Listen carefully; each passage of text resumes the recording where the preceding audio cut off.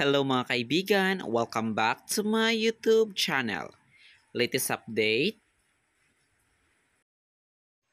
Nagsalita na nga ang anak ni na Franz Ruiz at Pablo Ruiz na si Danica Ruiz sa kanyang TikTok account.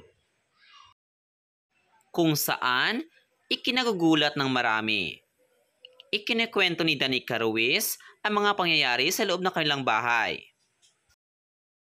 Ang pangyayaring ito kung saan at kung ano ang ginawa ng kanyang pamilya sa kanilang katulong na si LV Vergara.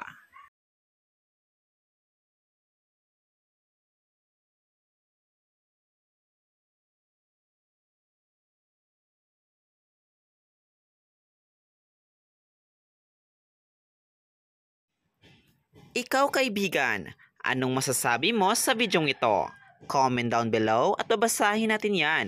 At don't forget to subscribe my channel para lagi kang update sa next video. Maraming salamat!